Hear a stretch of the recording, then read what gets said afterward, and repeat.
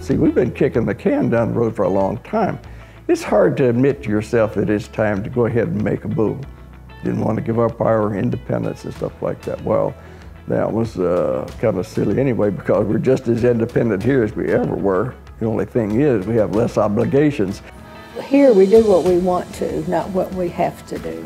We were at home and most of the time we were by ourselves and uh, here we have opportunity as much as we want to be with other people and that's a good thing for me. It's like when you come through those gates, it's, it's your own little village. It's, it's just about everything you need. I don't want to disparage the rest of the world, but to me, Kirby Pines is a, an island in the stream.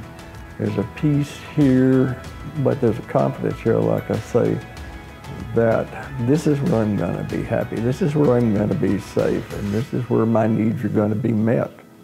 Kirby Pines is the place I want to be at this point in my life.